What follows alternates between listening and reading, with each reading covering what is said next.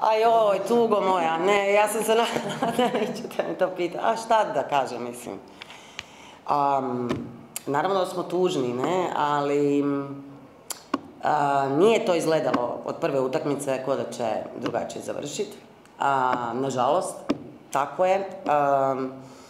Mislim da moramo i gledati unaprijed i da možemo s optimizmom gledati unaprijed, da imamo jednu smjenu generacije, jedne sjajne generacije, zaista sjajne, ali i uh, ono super uh, nove generacije koja dolazi i za koju se nadam da će imati više prilike se pokazati u narednim, u narednim godinama. Jer za sad možda još nije imala takvu priliku.